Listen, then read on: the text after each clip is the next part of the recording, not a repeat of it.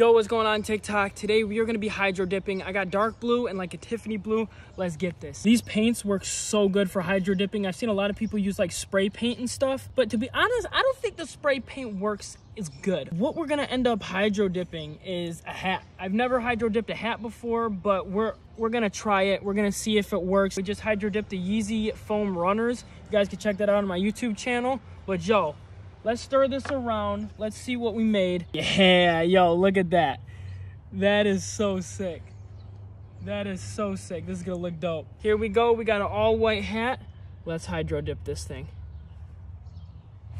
Oh my gosh. Let's see. Let's see. Yo! Oh my god, that worked out insane. All right, listen, I'm gonna wait for this thing to dry off